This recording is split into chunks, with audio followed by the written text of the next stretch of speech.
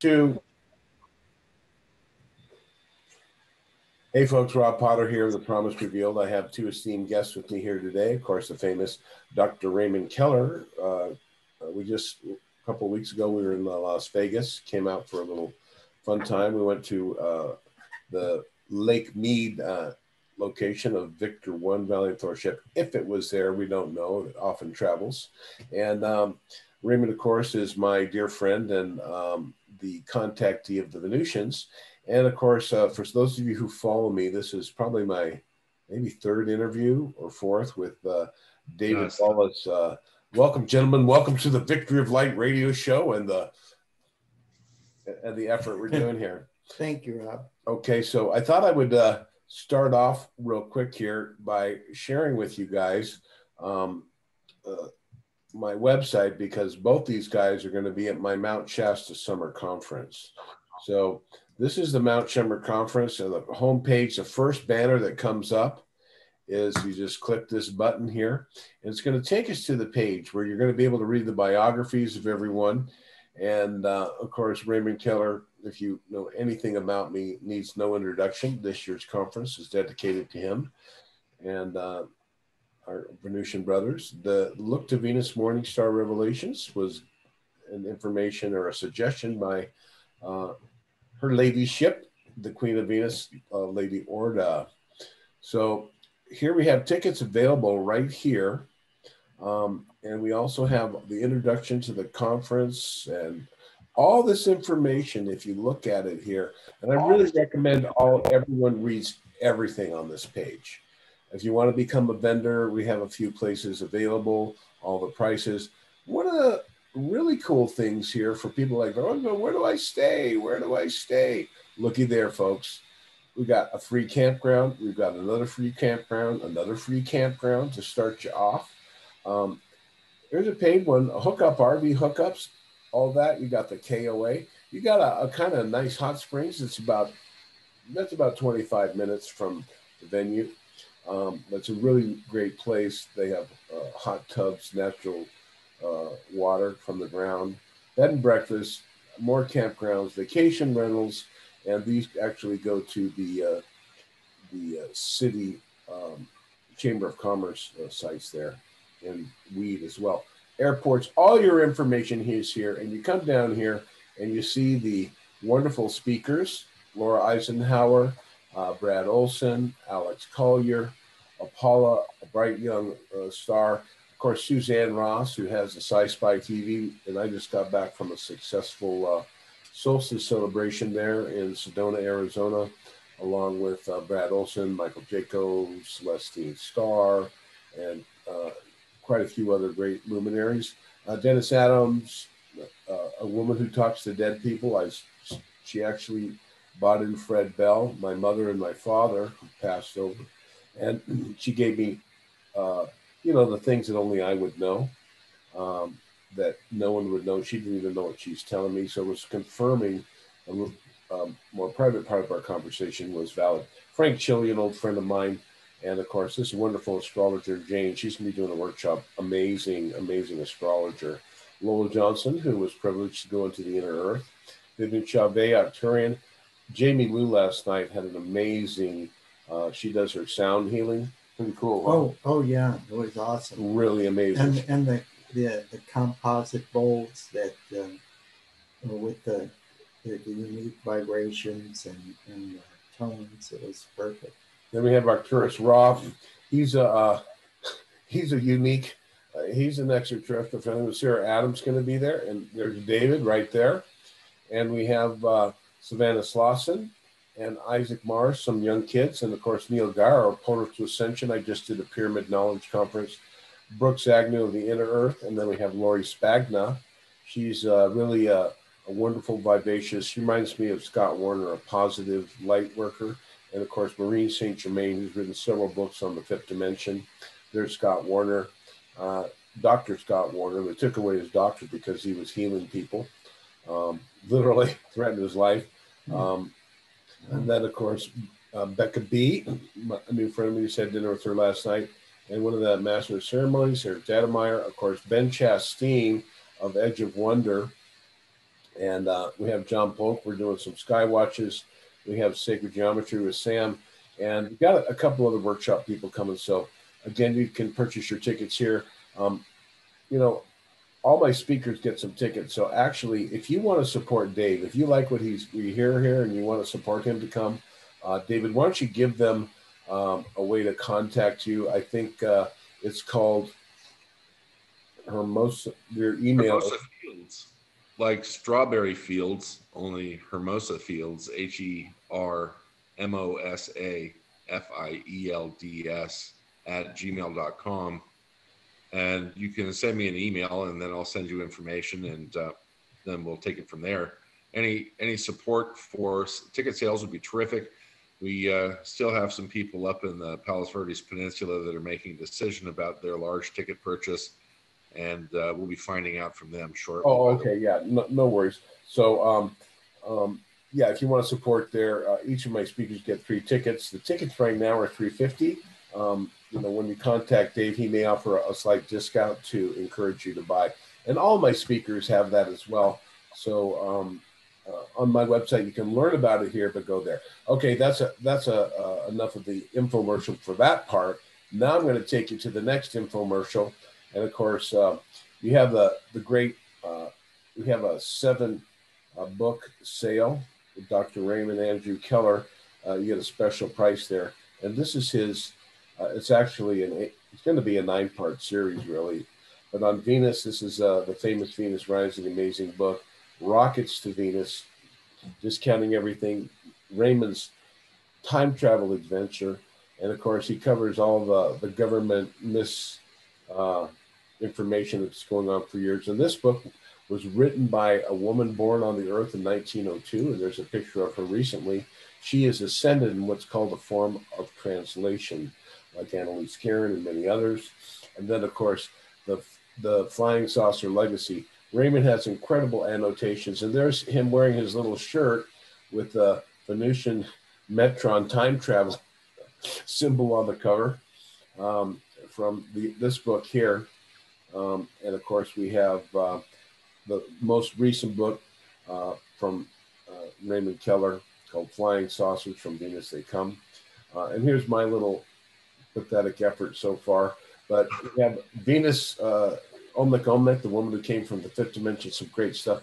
And this here is really incredible. This is Dr. Raymond Keller's written uh, limited edition of the Gospel of Thomas, and we might talk about that a little bit today. Strangers the Pentagon, blah, blah, blah, blah, blah, blah. So I'm going to take you now. Uh, we're going to stop sharing and uh, uh, let's uh, talk a little bit about David. David's information. I'll just give you a background, and then we'll we'll take off, and then uh, we'll we'll let a dialogue go here. Uh, basically, what happens in 2017, uh, David was taken. Um, uh, in an experience from uh, his home planet originally was called Bro Kali in the Aldebaran system, and he had an amazing experience there. He became a He's an ambassador uh, for them on Earth, and at the same time, he was providing evidence of the situation on Earth. And he gave a, presentation, which is quite amazing. We spoke about this. If you look at my YouTube channel, you're going to see this amazing story, and we have more to go here. We're going to get into maybe uh, some other stuff here, but uh, David um, learned many, many things, and he didn't couldn't do algebra and calculus uh, in 2017, folks, but he just graduated 96% in a master's in physics from Princeton, and he's getting calls from uh, some of the dark, darker technology companies that want to use his brain to pry open some of the secrets to the universe that he's had. So, welcome, David. And uh, where would you guys like to talk about today? Well, um, thank you for the lovely introduction, Rob. Um, it wasn't Princeton, but it was not too far off from Princeton. And I'd actually, I know, I, uh, I, prefer, I prefer not to mention the university because That's they've okay. just offered me uh, uh, some doctoral work towards my PhD because they know I've applied for um, two scholarships, one to UC Davis at Berkeley and one to Cambridge University in England to go work with Dr. Professor Sir Richard Friend, who was the head of uh, physics and higher mathematics at Cambridge.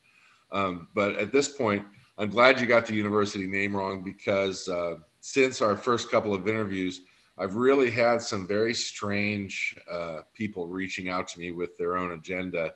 And this has nothing to do with my education. It's just whatever they felt they needed to express to me. And not all of it's been positive.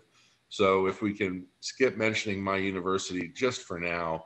And I, then, I, I said the wrong one on purpose. I, you know, I had a feeling you did, but you know, it's funny because I have some friends at Princeton that teach, and they're going to go, "Hey, Dave, you know, no." But so, so um, activation, and there's a there's a lot of triggers that that we carry in our minds, and I like to think that they're almost genetically or DNA encoded triggers. They're electrochemical in nature, and right now, the recordings that I've been sharing with you and Raymond um, about cognition and uh, uh, which is the science of higher cognition and being able to recognize uh, higher geometry and higher three dimensional shapes in everyday things such as symbols, letters, or numbers, and how physics actually uh, has a higher geometry expression even though human beings right now are stuck on communicating things in a in a linear two-dimensional fashion. When humans write um, it's almost a, a, a, given that we will always write in a two-dimensional linear fashion with a pen on a piece of paper. Doesn't matter if you're japanese or chinese in the direction on the paper that you write whether it's up and down forward or backwards whatever the culture that is communicating with the written word we have it ingrained into our minds that the only way to write these higher expressions down is in a linearized format, in a two dimensional format. And why? Well, that's obvious. We're, we're three dimensional beings existing in a three dimensional space. And one of the activations that I received since being taken away to Broccoli was that it was time to start re- releasing information about the science called polarimetry. And polarimetry is both recognition of higher dimensional shapes, but understanding how we're very, very close to creating gateways so that we can have a physical transference where we can walk from the third into the fourth or fifth dimension, but not go any further because then you would have to remove your spirit to go any higher. And when I talk about higher geometry and how all higher physics eventually turns into a higher form of geometry, I'd like people to think about the dimensionality of letters and numbers because we are trained to write in a thin linear line our expression of thought or mathematics. What about using your mind's eye to visualize that letter or that number as a three dimensional item and just sort of rotate it in front of you for a moment? If you can start to train your mind to understand the extra dimensionality of single simple things like letters and numbers, then when you practice this for a couple of weeks or a couple of months, the next time you look at a crop circle, you will be flooded with electrochemical emotions and uh, the understanding of the hierarchical system of communications from Gaia and also from above.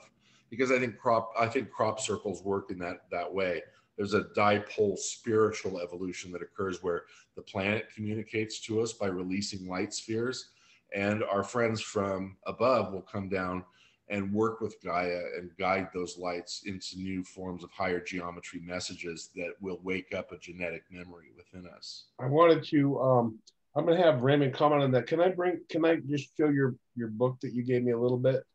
The, sure. of, the, 3D stuff.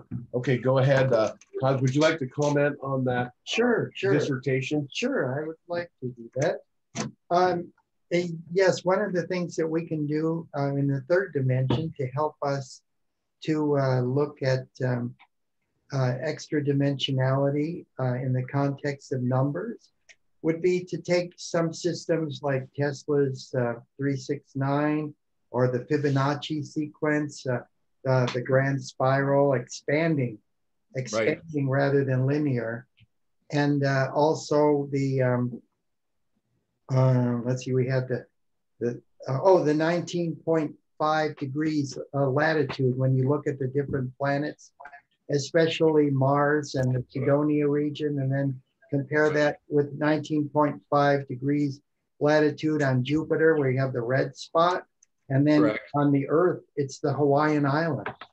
Isn't that interesting? You know, it's, it's a great parallel right there. I also wanted to mention the golden mean. Oh yes, yes. So all of this is, I mean, this is really magical stuff. Numbers are quite quite magical and and revelatory, and they do give us uh, insight into thinking outside the box.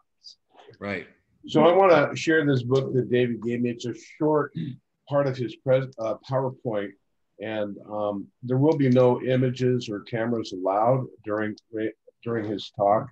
Um, he has a lot of very advanced stuff that some people might want to get. Uh, he it's it's in his head.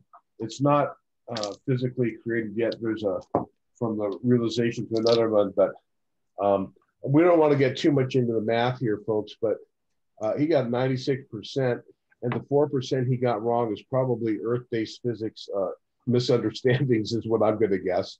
But this is the go ahead and say that linear. Uh, linear photoic physics nomenclature. So what we have here folks i'm just going to take you real briefly through some stuff here. And um, and uh, this isn't going to give anybody anything really but this is about uh, the actual mapping of uh, outer space, which is already done by the Galactics. Uh, Dave, why don't you share? Um, uh, let me go here first. So th- they have uh, a three-dimensional thing, kind of like a hieroglyph. And correct. And what he has done, folks, is he has taken three different uh, slideshows, uh, and he has on three different slides drawn something. And when you light it from the back, it projects a 3D image. Now, the being, you can't really see it here. You'll see it at the thing. There's a, a, a ship from a being named L uh, came into his living room, and I'm going to share with you the picture of him here. He's from Andromeda. Is that the, that's a constellation, correct? Correct. Okay, so there's L. Well, Andromeda is a is a galaxy. Oh, and it's a constellation. So he's from it the galaxy. It has connecting constellations which guide us towards it. So remember the constellations are like beacons because they're the they're the brightest stars that um, represent the location of specific galaxies. So not all constellations have planetary bodies, but many of them are uh, uh, actual just very bright suns. Right. So is is this are they from the M3 galaxy or from the? Yes. Yes. Uh, L is uh, M3. That's who Fred was working with as well. So we have here um, um, can I show him the crystal? Sure. Okay. So what happened was this, he, Dave was having a little bit of a problem with his midterm exams. And Al, this is levitating crystal in the room with David. And he didn't really have to talk to him. He just basically projected these images onto the wall. And David had a, a deep understanding. And it was uh, interesting. It was interesting because what a lot of people miss when they see that Okay, that's a, a Photoic linear nomenclature projector. They gave me the download for construction of the projector so that I can help people visualize the higher order of geometry of all known physics. So um, anyway, so I, I, wanted to share with you, uh, these little beings are a little different. They're from the Aldebaran system from a planet called Broccoli. And um, there's a little being uh, that, that wakes him up and there and there he is, kind of peeking over his uh, bakery. Came into his bakery shop in Hermosa. If you want some great pies, there it is. And then he's uh, very sweet. He's a dear little fellow. And then uh, and they they they show up at his house all the time. I'm going to show another image here, and then we have the. Um, we won't get into explaining that, I don't think. But I well, just, that's a that's a that's a photograph of on on board the Palameter. That's a alien technology right there. That's a spectroscopy points. You know, it's funny. I don't like using the term alien because you know it's so oftentimes knocked about for the wrong reasons on Earth. I've met lots of extraterrestrials. I have yet to meet an alien. I should say it that way. There you go. So this is a picture that David took on board the craft of Kim Jim. Can you explain why it's in that position? Why it's in that? Kim Jim is in a manifestation position. You know, he comes from the fifth dimension and he manifests physically. And what you're seeing is his neuronal uh, structure and his higher vibrations. And it's the form of there he is, this is sitting, sitting in the background. And you see his little arm and his black tunic and his head, and he's sitting at the control panel. And that was the ship that I went on before our lunch or breakfast with Nathan. Right. So so here's uh, um, his head. Here's his, his his feet, and these are these are the crystals right. that are kind of like the superimposition spectrometry. Uh, and these are how big are these crystals on board the ship? They were quite large. They were, you know, 20 to 23 feet high, and they weigh anywhere between um, 120 to 200 tons each. And and finally, I'm going to show you that, you know, from a guy who didn't know geometry and algebra, the downloads from this group is uh, for his mission is to help humanity when we're ready to develop um, um, this technology. So, so what I've done is I've used the Laplace transform. And the Laplacian is a measurement tool, and it has both an orthogonal and a derivative expression. But it, the Laplace transform is used for measuring derivatives, uh, measuring uh, special equations within a, a, given space. And the Laplacian is just a fascinating, fascinating engineering tool that they teach us in physics but it's something that's been overlooked. And I'm going to go back after I write the scientific textbook about palametry. I'm going to go ahead and start talking about extra dimensional versions of the Laplace transform because the Laplacian can be used to mirror itself all the way up to six different dimensions. And then you can actually begin to measure things from the fourth, fifth, and sixth dimension with the Laplacian. And the Laplace is a gift that was given to mankind. I can't remember the name of the doctor that developed it but uh, it's a fabulous measurement tool. So I use that to help coordinate uh, direction while we're going through deep stellar space. One of the things that I wanted to mention, and I know that we talked about palametry publicly before, is, and I'm not going to mention any names, but some people in the UFO community that have their own shows will watch something we're talking about, and then they'll briefly mention it on another show. And I'd really like people to not repeat what we're talking about because they just don't have the whole picture. And I'm going to be releasing photographs of higher mathematics, of stellar cartography. This is new, and how a palametry system works, and how the crystal system works, and and everything. I'm going to explain the whole thing because this is what I was shown when I was taken on board and allowed to take photographs. So, so folks, this stuff. So I'm just giving you a little bit of taste here you know, a lot of the math for us, we probably not often go to sleep where we would have. I'm going to keep it really simple. Oh, I know, I know, but I mean, for for the physics, they'd be on the edge of their seats. But I wanted to um, uh, uh, talk to Raymond. I showed Raymond one of those things, and uh, he goes, "Well, that looks like a, a superimposition of particles, kind of like the Venusian uh, craft that uh, go there." And of course, Raymond actually in his books are amazingly annotated. Go ahead and show that image again if you want, just briefly. Um, yeah. And Raymond is absolutely correct. And so, what, what Raymond, so Raymond, why don't you talk about what um, what you had learned from? I, I think Alon had spoken to you about these uh, this these particular images, Raymond. Oh, oh yes, yes. These were these were fundamental to um, um, let me show it. creating a bilocation signal. Correct. Correct. So, so basically, um, so how, how do the, the Venusians and their technology, it's, they're utilizing certain uh, similar uh, beyond time and space? Yes, because they, they were once, as, as we are, technologically and spiritually developing or in the process of uh, developing. And um, they are working with certain select individuals and the scientists uh, around the world, and um, as are other extraterrestrial groups. And uh, I, I won't say any more than that, other than the fact that uh, George Adamski and uh, Howard Menger and others have, that have come before before me have, have, have also said as much.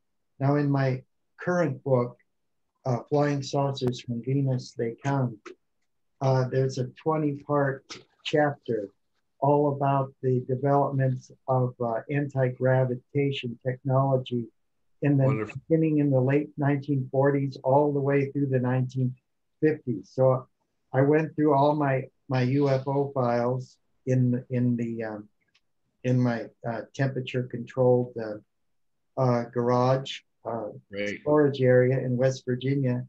so I had articles from Science and Mechanics, uh, the Gravity Research Foundation, uh, award-winning articles beginning in 1949 uh, all the way through and to the corporations, uh, various corporations like the Lear Corporation mm-hmm. and uh, uh, uh, Boeing, Hughes Aircraft.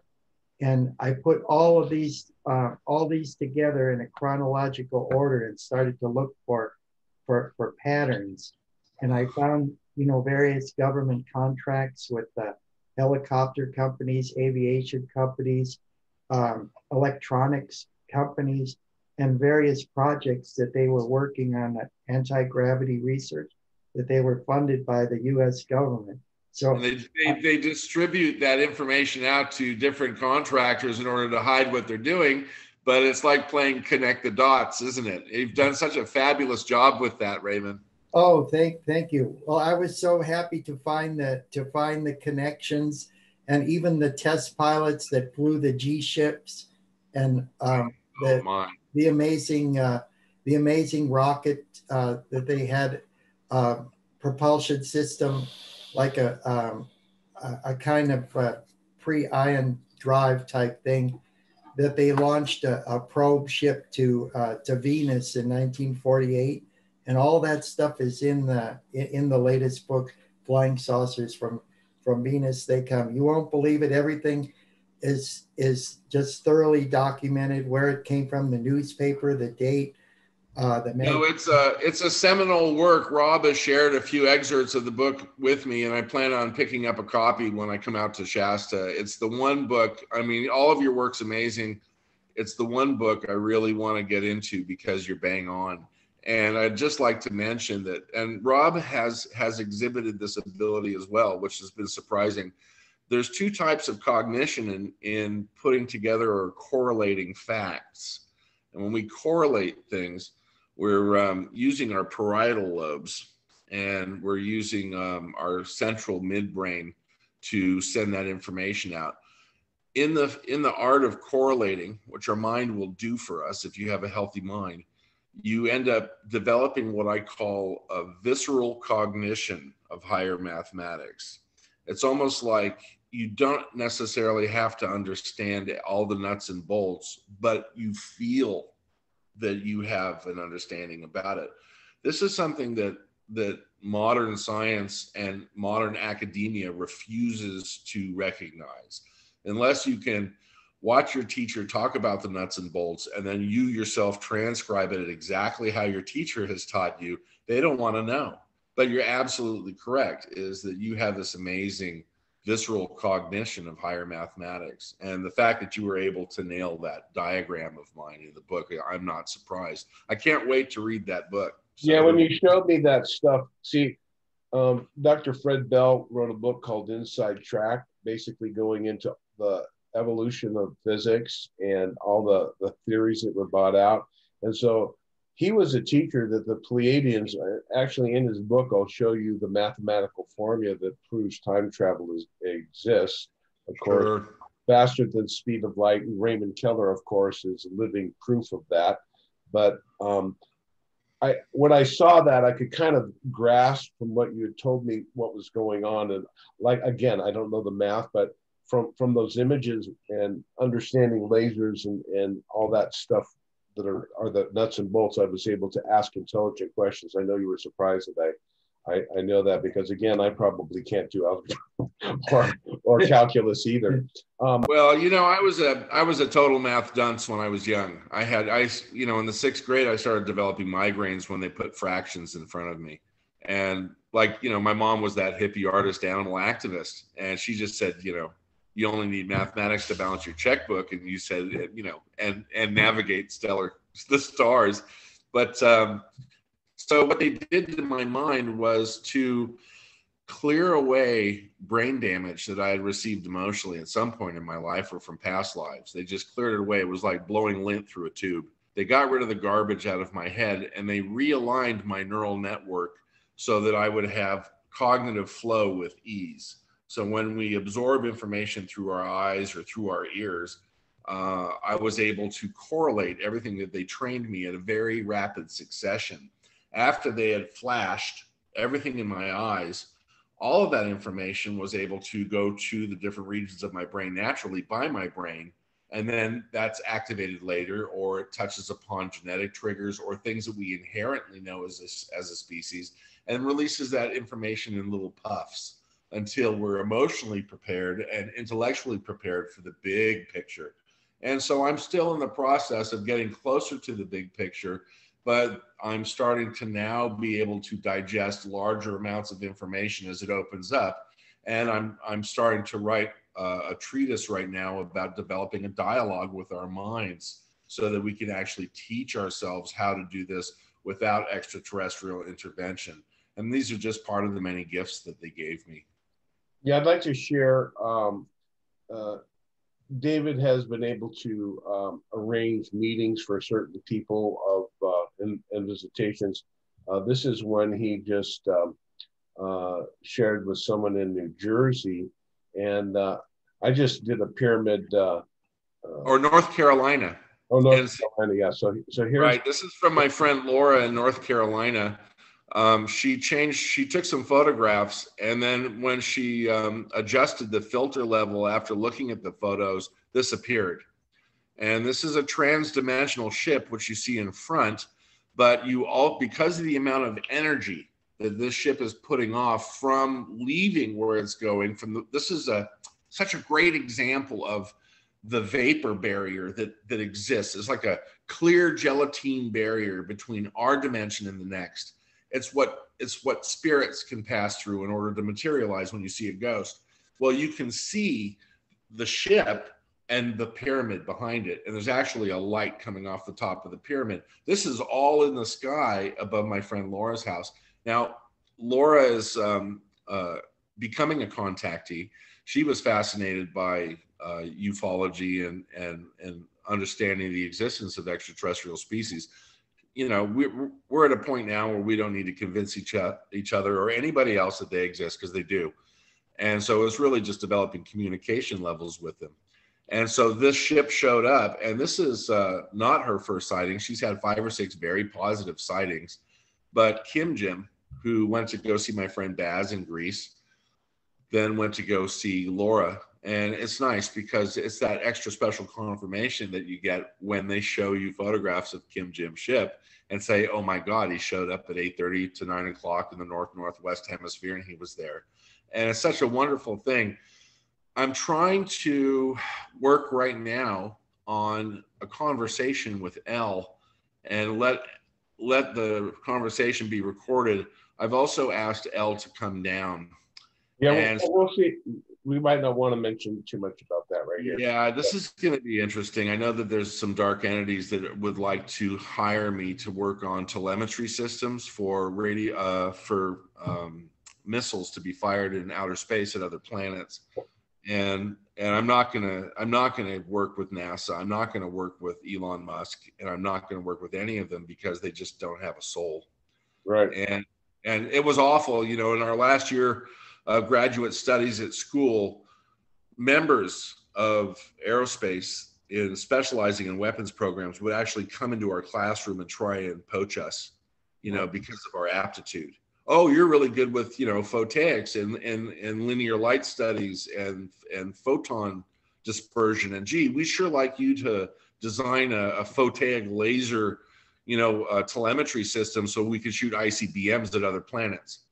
and it's like so shocking and so sad. But you wouldn't you wouldn't believe how many kids sign up because the money's unreal. And this is where you go, okay, I'm going to make. That's how they do it with politicians and everything. I'm else. not going to take three hundred thousand dollars a year to to develop a weapon that's going to murder millions of people. It's just the whole thing makes you want to throw up.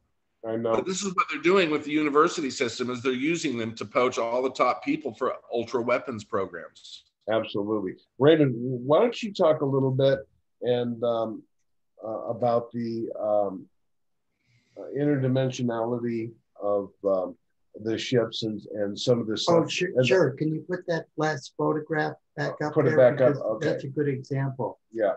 Um, what you see is that, that the extraterrestrial ships have a certain density, just uh, just like we do, but perhaps a little bit uh, a little bit lighter. But what happens is when the uh, when the, the plasma field materializes in our plane of existence in the atmosphere, what it does is it sparks all the molecules of the uh, uh, in, in, the atmosphere surrounding the ship. The, the plasma field just sparks it off. And so it, it has that, that phantom kind of glow.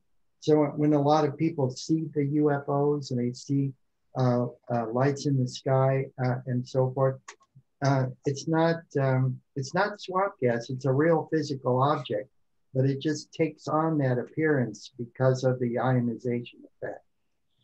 And and cause from um, you know when when you think about the extraterrestrials and giving this information, obviously uh, David has told me that, or Kim Jim actually told me, he said that they've been working with the Venusian councils and any disagreements on how to deal with this stuff is down. So it seems like it's coming the, the technology David's laying the groundwork for, um, you know, putting it together in your mind and in theory is one thing, but the actual hardware, this is going to take a lot of money and a lot of uh, uh, brilliant, dedicated experts in their field to put together uh, the engineering of the actual physical aspect of this. And I'm sure David will be guided through this process um, if we can get there. What is the Venusians? Um, um, I mean, they're feeling that we have to to reach a certain level before we can really get this. The bad guys have certain aspects of this well, technology. They're, they're worried about our technological uh, development surpassing our spiritual maturity to catch up with it, and uh, so they fear for our for our future lest we blow ourselves up, and, and also for their own because all the planets everything is interconnected in the sol- solar system through the through the solar wind and everything, and it's going to have an effect on all the other planets. So they they definitely are looking out for our interests and theirs as well. Yes, I can confirm that 100%, Raymond. Um, this is exactly the conversation I had with Kim Jim when my little friends floated me towards the tent to go and meet him. And it was all about emotions and emotional chemistry and preparing ourselves. And he made a lot of neurological cranial developments to my uh, cerebral cortex but uh, uh, and he did it in a flash. But we do have to help our own species. We have to help each other with love and kindness and explanation so that everybody can wake up to the same level right around the same time and this is sort of one of the mystifying things about ascension is that I can see people who would normally work for a corporation like McDonald's. Fifty-seven dollars. You can make as much. I'll tell you here. Hold on. I'm just uh, I'm going to mute the uh, sound on this, uh, and I wanted to share this other uh, video. While you guys were talking, I just started to bring up. There's another friend of mine uh, I took down to meet in South America. He's a Buddhist and meditates a lot, and I just wanted to um, uh, uh, share his um, his videos while we talk because we're talking about the uh, um, plasma fields and they're showing up and you'll see multiple ships making displays for him. He has a tremendous amount of information. They appeared to him uh, uh, uh, some time ago. So uh, we'll play this and we can uh, carry on that uh, conversation never pick up a camera or use. There we go. Go ahead. Yeah, Yeah, there it is. So um, let's see. Oh, look at Cos back in there. Cos, do you have any anything else you'd like to share in terms of? Uh, Oh, oh yes, uh, like um, Commander Rains had told you, told you, is it's like um, our technology is worrisome be, to the Venusians because it's it's like uh, giving uh, um, car keys to a five-year-old. right. So, so we can just. Uh, I mean, they're very,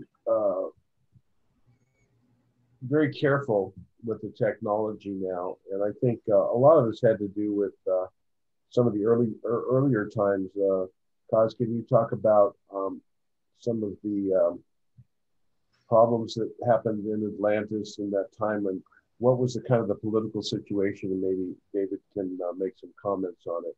All right. Well, sometimes I worry about um, um, this adulation of Atlantis, of Lemuria, and these lost civilizations precisely because they followed a path that led to their destruction.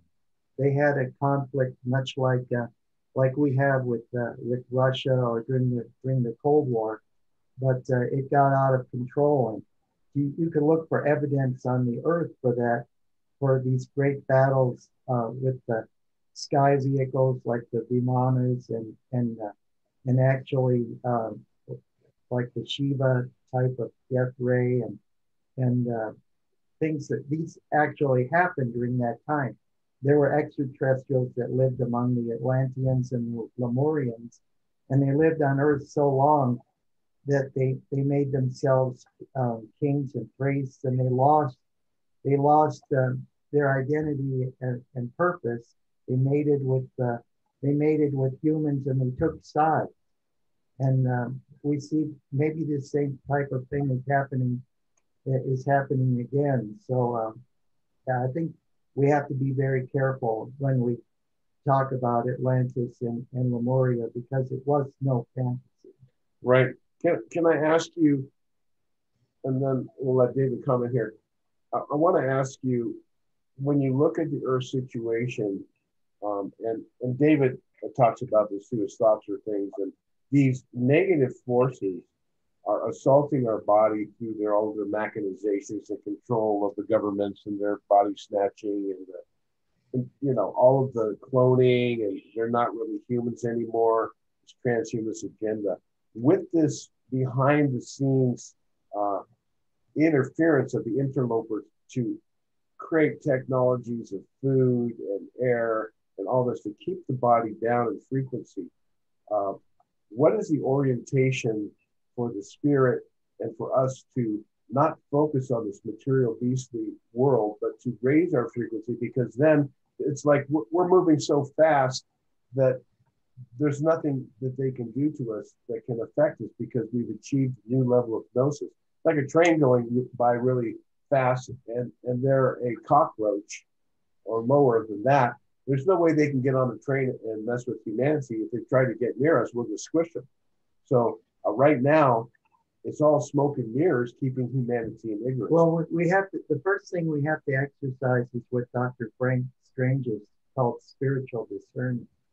And we have to slow, slow ourselves down. We have to take a break from this world and kind of step aside for a little bit and uh, find, find that inner spark, that spark of divinity that, um, that, that's within us and connect to our higher self because that higher self is existing on the higher dimensional levels. Once we could connect with that, we could change the world one one spirit at a time. How do how do you see that taking place in this crazy world of media filled uh, ignorance? Well, we have to realize that that the media is corporate sponsored, so their their message reflects the corporate uh, agenda. But I think what like what David did, um, to come to an epiphany, um, you know, is to, to, to read things. We have to look to the past, to the wisdom of Confucius and others who've come, be, come before us. And uh, if we do that, we can um, establish our, our own intellectual and spiritual identity, and, and we could progress from there by uh, developing relationships and affinities with other people who think the same way. David, what do you think about that? Uh, um, the, concept there, and how do you think we can change to make our frequency and our attention not focus? I mean, I always say, look at the bad stuff, realize it, step back and agree to have nothing to do, to do with it. You said you've learned uh, thoughts or things, and why don't you share some of the wisdom of Kim Jim and, and how you think that we could uh, uh, progress a little bit? Well, I think Raymond's explanation is very elegant, so I won't be building on his explanation because he, I, essentially he's correct rather than discuss what Kim Jim taught me, I'd like to go to the teachings of Buddha because the great Buddha also said thoughts are things. And, you know, the idea and concept of thoughts being a reality is a very ancient one. Confucius also said the same thing. So did Aristotle. And then uh, uh, throughout history, we are given lessons about manifestation the thing that we need to do is what Raymond said is to take a break, give our minds a break. Because in order to receive information continually, and in order to have continual calm and intellectual dialogue with higher species and ourselves, we must start thinking about our minds on a different level. Our mind is our friend and we don't think about our brain because it doesn't create any problems for us it doesn't move it doesn't pulsate uh, it doesn't have brain attacks where you know you grip grip your head because you need to go to the brain doctor so we tend to ignore our brain. And this is why in that chapter that i just emailed to you last night why i rather like people that talk to themselves. I think that's lovely. And if you watch uh, somebody from a distance or somebody you know who talks to themselves they're usually happily chatting away with their own mind. And they're having a conversation with themselves. And that's extremely healthy. And of course modern science uh, uh, psychology and psychiatrists will tell you that somebody's unhinged if they're talking to themselves but that's not the case. Speaking to your mind and loving your mind and understanding your brain and its functions is something that you can do through your chakras. So if everybody could just take 10 minutes a day that's all. So envision the lights that come from your seven chakras and send a beam up to the seventh chakra at the top of your crown where you communicate with heaven. But tell that beam to stop right on the inside of your skull and have a look around inside your brain and see what answers you get because your psyche is connected to not only your past lives but the more important genetic memory and when we talk about things repeating themselves mankind's behavior, repeating that of the Atlanteans, where we eventually blew ourselves up because our emotions ran away with the bomb instead of our common sense. And so, if we change the dialogue with our minds and become comfortable with who we actually are, I think that we'll remove that fear aspect of not going in the right direction through our spiritual and physical evolution. Thank you, David, for those remarks. Uh, we definitely have had many great avatars come among us and in Western civilization, of course, Socrates said that the greatest thing that we can do is to know know ourselves. And at the uh, temple at Delphi uh, in, in Greece, in ancient Greece, before you would walk in there under the, the portico, there's a, uh, there was a big sign o- overhead that said, Know thyself. And uh, this is the important thing because once we know our, our, ourself, then we're open to communicate with the with the higher uh, intelligences. So right. our, our, civilization has that blessing that Atlantis right. and Lemuria and everything didn't didn't have. So we have we actually have a chance. We have a chance to make. We have a really great chance, and and evolution has given us this. When we went from that very strange period that I also mentioned, when we went from agrarian sort of hunter gatherer to accomplished you know agricultural workers and city builders. That, that happened overnight and it's a genetic leap and our brain has been giving these wonderful genetic triggers which fire off and ascension is part of the next conclusion of the next genetic trigger that's about to go off. Because believe me when it hits it's not going to be just people that see UFOs. It's going to be every human soul on the planet is going to wake up and go, "We love Gaia. What can we do to help?" All at the same time, all walks of life. Everybody will awaken. Yeah, I think that's a, a, positive thing. You know, we're talking about the avatars that are dispatched here, and of course, uh, Raymond Keller. I think you'll find this interesting. One of the things, um, you know, I, I don't re- recall him telling me um, uh, when the Venusians gave him the technology to, from his living room, establish a bilocation signal. Um, Interesting. that he was given uh, a pair of World One goggles, Hmm. and uh, he was given uh, inside was a little stone that was attuned to him that re- rested on the bridge of his nose, and Oh, above my. it was a little antenna, and this antenna uh, has been called the the uh, these two stones together are called the Urim and the Thummim, and this one is a seer, and the one that's attuned to him was the knower. And then the other aspect is, is he was given a breastplate like uh, Aaron was in the Ark of the Covenant. And Right. in those days, they would create tents around. They kind of create a holy of holies where everyone stayed out, and the Ark was there. And Aaron, Moses' half brother, would um, stand in front of the Ark, and a priest behind him would answer questions and we're not sure exactly if he saw letters or what he saw, but the answers were given. In in uh, Dr. Keller's instance, he was able to look. He chose the Nag Hammadi uh, library scripture because uh, he felt that uh, Jesus' twin brother would probably have a very interesting um, uh, tale. And so, in the Gospel of Thomas, which is going to be printed soon, he Wonderful. he did what is called the the uh, Acts of Thomas, which is Thomas with the disciples of Jesus. Uh, I think 100 acts, and then he did what is called the Youth Gospel of Jesus, which is the recounting of Thomas of Jesus's life um, as a child, raising people from the dead, like from the age of seven or eight, and then of course the Gospel of Thomas, and then the Gospel of Mary Magdalene. And so, Wonderful. so, Cos, why don't you share a little bit um, about that experience in the bilocation signal and what what you gathered from from uh, these this wonderful experience of being able to write a very up to date gospel. Well, I wanted to I wanted to uh, do this for a long time. Um, when I was uh, attending the seminary at the uh, in Independence, Missouri, for the Community of Christ, we have a temple there and a library, and uh, they let me see the seer stones that uh, the prophet Joseph Smith uh, used, and They had those stones. yeah, I actually I actually handled them, and Those I are ones that he I saw the, the, the his own handwriting where he translated the Reformed Egyptian using the seer stone. So I, I, I thought that would be so cool to do something like that.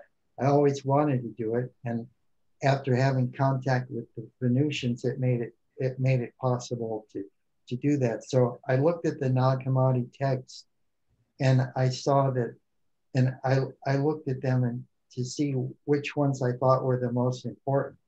And I thought since Thomas is the, the twin brother of Jesus, um, that would be very important to get the fullness of his testimony when he was growing up with Jesus. So we have the infancy gospel. Then in the gospel of Thomas, it's a, a very philosophical treatise. And in section 99, it ends where um, Thomas reproves the other apostles, particularly Peter, uh, for discounting Mary Magdalene and, and saying that Jesus didn't tell you these things. Um, we don't we, we don't believe you. You're just a you're just a woman. But actually, he recognized her as being the 13th apostle. So I said, well, we have to have the gospel of Mary Magdalene in there too. So that's the and the, the end of the text, and then the th- and then the that's the fourth text, and then the the third text is the Acts of Thomas when he traveled throughout India. So it's a it's a it's an awesome book. I was able to use that device to fill in all the missing spaces in the, the Nag Hammadi uh, text and to make any corrections in it. So it now reads really s- smoothly and uh, it's it's all footnoted all throughout, matching to the Right. whole Bible and also the teachings that I received from um, uh, Tatiana Urban, Wow. Dr. Urban, uh, from Annalee Skarin, and Tatiana was related to Annalee Skarin, the, the Mormon prophetess, and then uh, and uh, then uh, Clayton Clayton Parker, who is my mentor. Wow, that sounds wonderful. You know, oftentimes getting the the symmetry and the timeline to be sympathetic to the souls that you'd like to talk about is so so difficult. And if you manage to do that, it'll make it a lot easier to learn about these ancient lessons. You know, I think about Mary Magdalene as the 13th apostle and how desperate the Romans were to pull the goddess from the temple and to make her into uh, uh, the image of of a whore, basically, when uh, she was actually uh, so much more. She was at the time the Mother Earth goddess for all children born. Yes, And- yes. And They had that's three kids. a very important character in in in the the the understanding of a higher love and understanding of motherly love. Because you know, motherly love, I think, is probably as close to Christ's love as any type of love that we can understand as a species. Because nobody loves you more than our mother.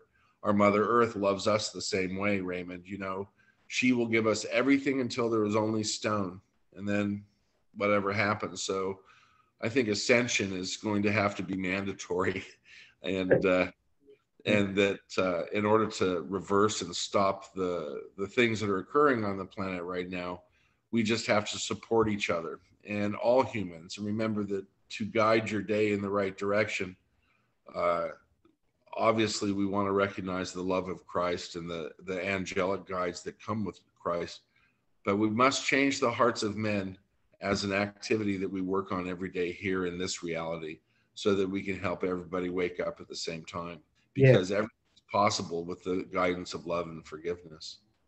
Amen, brother David. Amen. I'm not. Uh, I'm no stranger to the love of Christ, and and I just, I would just love to read what you have to say about Mary Magdalene because she's one of my personal heroes. I'll send you a I'll send you a copy of it. Um, Cathy Teets, the publisher of Headline Books, said that the uh, that uh, the uh, copy there's an e-copy on Amazon, or there or there will be very soon, and she was hoping that we could get it out before published in a book form before the uh, Mount Shasta conference. Well, you know, I tell you what, I'd rather get a buy it and have the paper copy because um, I'm limiting the amount of time I spend looking at a screen because I have to do. I've my my schoolwork. It took five years to get my MSc, and and my eyes became very very tired. I every once in a while I have to sleep with you know grated cucumbers in a towel on them because it's just almost like I've got welder's flash. And um, so I'm I'm doing a lot of uh, writing right now and trying to stay off of computers and reading things off of computers. And of course, 5G uh, is is has a frequential uh, vibration at such a high rate that it's very damaging to our optic nerve. So I'm trying to stay off my cell phone as much as possible as well. I recommend that for everybody, by the way. Oh, I, Yes. I, I agree with you. Uh, um, you know, in the days of old manual typewriters and carbon paper and everything, Wonderful. they came up with computers supposedly to save time, but now they waste more time than, than anything uh, at all. It was much quicker to just, uh, Right. and plus you didn't have to worry about being hacked or spied upon or, And there was no stress. The only stress was getting the manuscript to the post office. right, right. I'm going to share with you a little technology from the Venusians. I'm kind of proud I finally got this together. I've been doing a lot of writing too, and uh, Wonderful. My my eyesight went down with the advent of cell phones, but um, I'm- Totally. I'm going to share with you um, um, the device I'm wearing around my neck. This is uh, Fred Bell, uh, who who uh, was given this on Christmas Day by the uh, by the Pleiadians. I went up on Christmas Day in 1975, and he told me I just up in Semjase ship last night about two in the morning. Um, he would go over the hill there in Laguna near Arch Beach Heights, and he would get on board. And she took him up and gave him the design to this these devices. We have like the one I'm wearing, four leg weight. There's a bunch of different designs. Um, the price are pretty pricey. I, I kind of price it out the average price of a diamond if you wanted one, natural diamonds. But I want to. Uh, it's so beautiful. Yeah, they're really. They have. I do demonstrations on them. I'm going to put this up here too, but I, I just wanted to share. There's a, a tremendous amount of information here into the science of um, electrical precursation, which is really uh, the science of um, of how the soul comes into the body. You wonder if the chicken came before the egg. Well, the people from Koldas said that they created the chicken on Earth uh, for humans after the flood to eat, so that the egg came first. But when we look in our body, we are uh, a soul inhabiting a body, and that soul expresses itself through electromagnetic imposition on the physical plane where we created. So if you look down here, I've got some of these incredible manuals. This is all about it. You click on this link, and then uh, uh, I've actually uh, recreated the original Pyradyne manual from 1982. Um, uh, this is, of course, the, the birthday cake shit picture taken by Billy Meier, the Pleiadians. But I've uh, kind of uh, I've added a little bit, but this takes goes through all the pyramid energy and all the technology uh, and understanding stuff. So when you get down to the the jewelry stuff, it's really fun. So I have a tremendous amount of uh, uh, information on this thing. You come down here, and we even have you know I'm working with his daughter, so I have complete and total right and usage to every aspect of every one of his books, everything he's ever done. And of course, um, we go through the various technologies here, my dedication to Fred and all that stuff. So there's a lot of fun stuff. I, I had to kind of, I'm kind of doing a little infomercial here because I'm kind of excited to release this product. Totally cool, man. Totally cool. I mean, I, I, I sent uh, Raymond, I sent um, Rob an email a few weeks back, and I said, you know, it's really getting hard to make money the normal way when you're spending more and more time in uh, writing physics manuals for the physics for the physics people right. that don't have a clue. we're, we're, we're, trying to spend time with our friends that come from other galaxies and planets, and you know, admittedly, eighty percent of that time is through celestial communication and through ESP communication and when we're meditating and we get that message, it's getting harder and harder for us to make money. And, you know, I'm looking at some of the other sites from people, and they have the most wonderful things and devices that they've created to help us cognate what's going on. And I see the pathway, by the way, Rob, I can see the pathway in that, that, in that circle on that. And, and it was funny that we were just talking about Aaron's breastplate because, you know, Aaron's breastplate apparently had gemstones in it yeah, they, Raymond and I was talking about it. He didn't want to reveal exactly. Oh, that's, that's so pretty. And you know, my birthstone's aquamarine, so I'm probably going to get one of those from you and have a nice fat aqua in it. That's called a Casaubon wave trap on the back. Right. looks like a yin yang symbol. What it does is it filters that that parabolic curve is at 22.3 megahertz. One of the major replication frequencies of the DNA. No, it's wonderful, and, and you know when um, when we go up to Nathan's cabin up at seven thousand feet up in the mountains to ask our friends to come down and land, and I'm going to have to have Nathan talk to you about the experience. He had a sphere come down, and they showed him some technology, and it's fabulous. Hey, just, meet them physically? Yeah, it, it just happened. Um, this last week? No, no, no. A couple months about five or six months ago. But the he came down and they stepped out.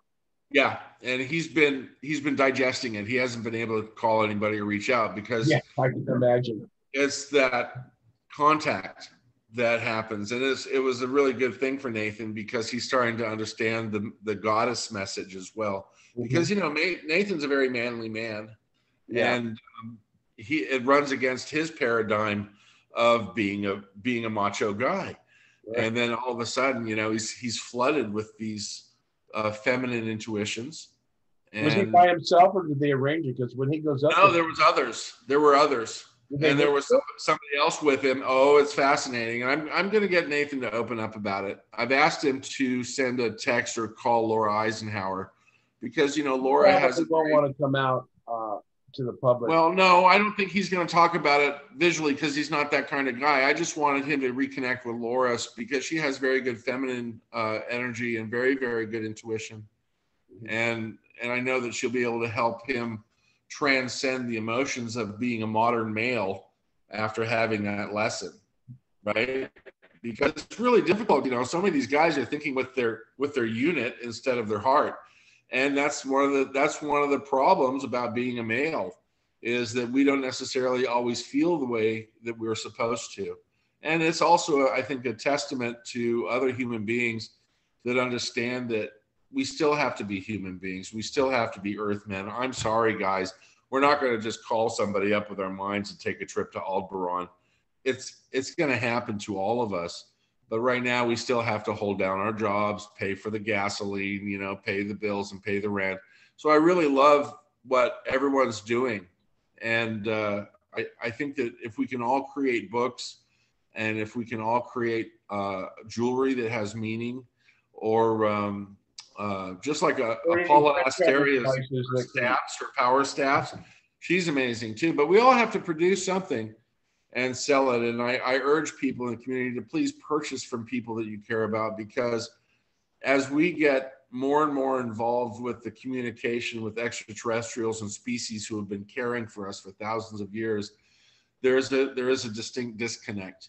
And we, we need to come together and and uh, you know initiate prosperity and abundance. Raymond, Raymond and I, um, we're uh, creating a nonprofit, and we're going to be trying to create a center here, kind of a uh, a divine uh, an art gallery and a shrine and a repository for uh, advanced information and a meeting place for people to heal on here on Mount Chestnut. And there's a lot of those already Well, created by a lot of different people here. So. some, if you'll allow me, then I'll I'll make some material wealth donations to that so that you Yeah. can sell, them.